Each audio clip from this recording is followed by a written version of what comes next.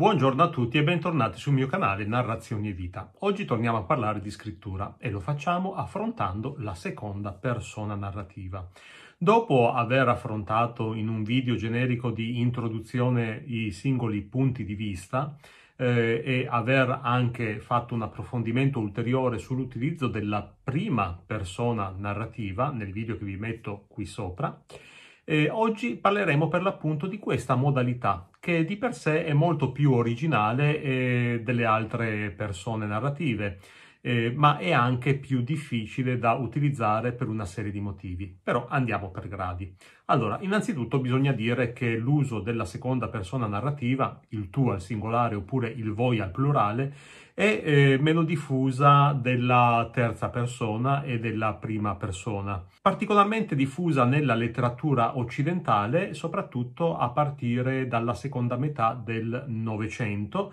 La seconda persona narrativa viene però utilizzata in tutta una serie mh, specifica di, di scritti che hanno come uh, caratteristica fondamentale l'implicazione. Se della prima persona narrativa vi dicevo che eh, si potrebbe riassumerne il senso con la caratteristica della confidenza, cioè una confidenza che il narratore sta facendo al lettore, la seconda persona invece ha come caratteristica fondamentale quella dell'implicazione, cioè tu lettore sei implicato in ciò che io ti sto raccontando.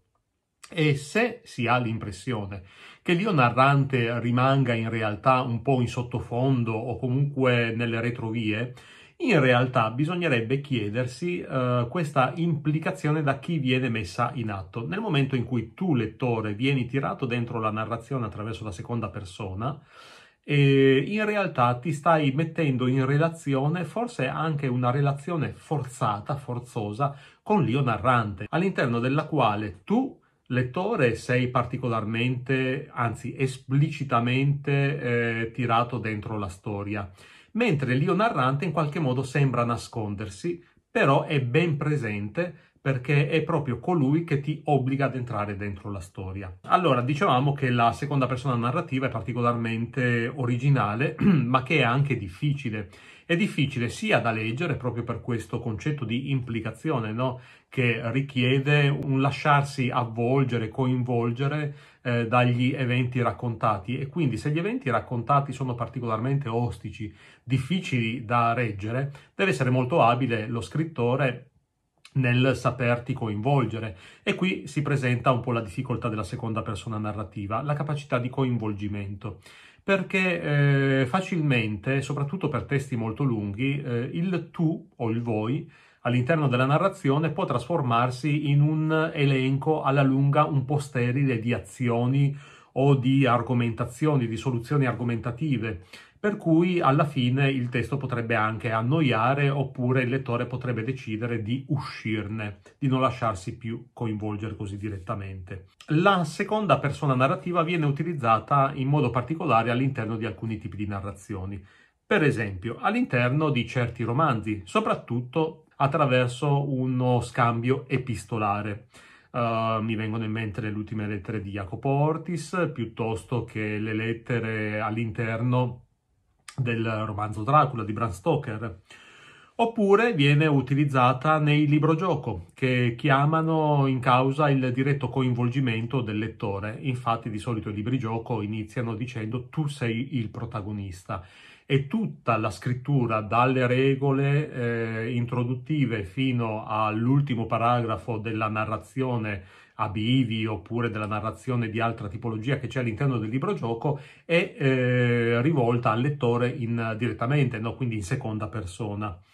Eh, poi la seconda persona viene molto spesso utilizzata nella poesia, dopo vi farò anche un esempio oppure viene utilizzato nella pubblicità, no? Quanto spesso uh, la pubblicità per riuscire ad accalappiare l'attenzione dello spettatore oppure per riuscire a vendergli il prodotto lo deve far sentire direttamente implicato all'interno no? di ciò che sta proponendo, di ciò che, eh, che sta dicendo. Però poi c'è anche una modalità particolare di utilizzare la seconda persona che è costituita dalle sceneggiature, cioè ci sono alcune sceneggiature, soprattutto di alcune serie televisive, che si rivolgono allo spettatore direttamente dandogli del tu e quindi anche in questo caso chiamandolo direttamente in causa all'interno della scena rappresentata.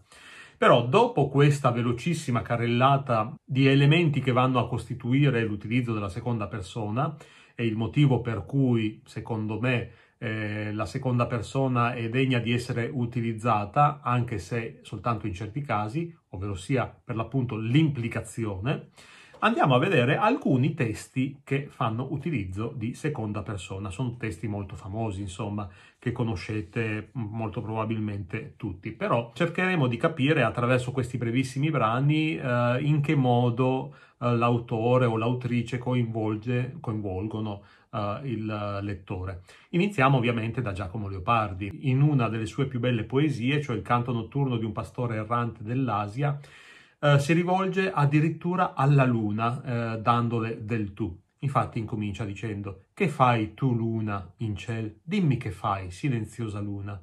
Sorgi la sera e vai, contemplando i deserti, indi ti posi. Ancor non sei tu paga di riandare i sempiterni calli? Quindi qui è un rivolgersi con il tu alla luna per chiedere qualche cosa. Crea un rapporto, il poeta in questo caso, con un astro, quindi con un essere inanimato, con un, con un oggetto, un qualche cosa, che però lui riempie di vita interrogandolo per ottenere un qualche tipo di risposta. Ovviamente in questo caso il tu della luna fa da specchio alla sua interiorità. Non a caso infatti la luna è uno dei simboli per esempio del, dell'interiorità o comunque dell'inconscio, eh, della parte femminile oppure della parte ombrosa del, del proprio sé e quindi è utilizzato giustamente da Leopardi per confrontarsi in questo rapporto molto stretto tra un tu e un io. Poi, un altro esempio, Ugo Foscolo, Ultime lettere di Jacopo Ortis, per l'appunto quelle che vi accennavo. Vi leggo come inizia, per esempio, una brevissima introduzione dell'immaginario narratore di scrittore di queste, di queste lettere, cioè Lorenzo Alderani, che scrive al lettore Pubblicando queste lettere io tento di erigere un monumento alla virtù sconosciuta e di consecrare alla memoria del solo amico mio quelle lagrime che ora mi si vieta di spargere sulla, tua, sulla sua sepoltura.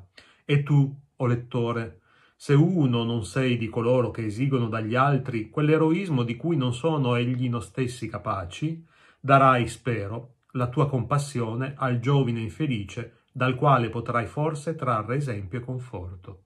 Lorenzo Alderani quindi qui Foscolo sta chiedendo al lettore quella compassione, quella compassione che è necessaria per poter entrare all'interno della narrazione condivisa da queste lettere che sappiamo finiscono in modo tragico. No? Quindi anche qui c'è un'implicazione diretta che viene richiesta dallo scrittore. E, e, poi la prima lettera inizia così. Il sacrificio della patria nostra è consumato, tutto è perduto, della patria nostra, quindi qui c'è un coinvolgimento no, ulteriore, e la vita, seppure ne verrà concessa, non ci resterà che per piangere le nostre sciagure e la nostra infamia. Il mio nome è nella lista di proscrizione, lo so, ma vuoi tu che io per salvarmi da chi m'opprime mi commetta a chi mi ha tradito? Quindi vedete come c'è un coinvolgimento pieno e totale all'interno della narrazione. Passiamo ad un'autrice, Oriana Fallaci, che in Lettera a un bambino mai nato si rivolge in maniera molto poetica, un po' come fa Leopardi nei confronti di una creatura che non è senziente, e cioè la luna, in questo caso no, si rivolge ad un bambino mai nato. Stanotte ho saputo che c'eri, una goccia di vita scappata dal nulla. Me ne stavo con gli occhi spalancati nel buio ed un tratto in quel buio si è acceso un lampo di certezza. Sì, c'eri, esistevi. Addirittura vedete qui come la Fallaci si rivolga a questo bambino mai nato ovviamente al passato. E dunque si sta rivolgendo al, ad un tu, però posizionato in un momento temporale che non è più quello attuale. Quindi qui il coinvolgimento del lettore avviene in maniera eh, differente rispetto alle altre narrazioni, perché qui la Fallaci sta chiedendo al lettore di entrare, di impersonificare questo bambino mai nato e quindi di mettersi al posto del bambino mai nato, di empatizzare con lui. È un procedimento che trovo molto interessante. Poi, David Foster Wallace. Dimenticavo di dire che un'altra delle tipologie narrative all'interno delle quali si può usare la seconda persona o viene spesso utilizzata la seconda persona è eh, proprio la scrittura di articoli, la, il giornalismo. Eh, considera l'Aragosta è una raccolta di articoli o di brevi saggi che eh, David Foster Wallace, eh, grandissimo scrittore, che scrisse per vari giornali, mi pare di ricordare. Per esempio, il primo, il primo testo, Il figlio grosso e rosso. Sentite un po', perché poi c'è anche un umorismo in Wallace che è incredibile. L'Accademia americana per la medicina d'emergenza lo conferma. Ogni anno, fra i 12 e i 24 maschi adulti statunitensi vengono ricoverati al pronto soccorso dopo essersi castrati, con utensili da cucina, di solito, a volte con tenaglie. In risposta all'ovvia domanda, spesso i sopravvissuti spiegano che i loro impulsi sessuali erano diventati fonte di conflitto e ansia intollerabili. Il desiderio di completo appagamento unito alla concreta impossibilità di ottenerlo, quando e come volevano, aveva prodotto in essi una tensione insostenibile. Quindi sembra che stia parlando di qualcun altro, sembra che non ci sia direttamente una seconda persona implicata, però sentite un po' e ai 30 e più maschi testosteronicamente afflitti, i cui casi sono stati documentati negli ultimi due anni, che i vostri corrispondenti vogliono dedicare questo articolo, i vostri e a quelle anime in pena che stanno prendendo in considerazione l'autocastrazione per il 1998, vogliamo dire fermi, giù le mani, buoni con quegli utensili da cucina e o tenaglie, perché forse abbiamo trovato un'alternativa. Quindi sta parlando a quelli che vogliono castrarsi, è meraviglioso. E poi, in ultimo, non potevo non citare eh, uno dei miei grandi amori letterari, cioè Paul Auster nel suo diario d'inverno, che è tutto scritto alla seconda persona. Lui in questo diario d'inverno in realtà racconta di se stesso, quindi memorie di infanzia soprattutto, eppure sentite come le scrive, come le racconta. Pensi che a te non succederà mai, che non ti può succedere, che sei l'unica persona al mondo a cui queste cose non succederanno mai e poi, a una a una, cominciano a succederti tutte, esattamente come succedono a tutti gli altri i tuoi piedi scalzi sul pavimento freddo mentre ti alzi dal letto e vai alla finestra. Hai sei anni. Fuori nevica e i rami degli alberi in cortile si stanno imbiancando. Vedete come in questo caso si tratti sì di una confidenza che l'autore sta facendo, quindi sotto certi aspetti potrebbe essere simile la funzione eh, a quella della prima persona. Tuttavia c'è un'implicazione diretta perché eh, Paul Oster ci sta chiedendo non soltanto di metterci nei suoi panni, ma ci sta dicendo di guardare alla nostra vita e di eh, cercare di capire in che modo ciò che capita a lui o che è capitato a lui è successo anche a noi, una diretta implicazione all'interno della narrazione. Perciò questo è il senso complessivo della seconda persona. Se avete qualche cosa anche voi da condividere, e da dirmi su ciò che pensate sia bene utilizzare eh, o sul modo in cui sia bene utilizzare la seconda persona, non avete che da scriverlo in calce a questo video. Io vi metto anche i link dei testi che ho utilizzato per uh, farvi gli esempi e non mi resta che chiedervi di mettere il mi piace se mm, vi è piaciuto questo video, vedete anche io sto usando la seconda persona plurale. Se volete seguite anche questo canale Narrazioni e Vita perché io continuerò a proporvi video di questa tipologia. Ciao a tutti e alla prossima trasmissione.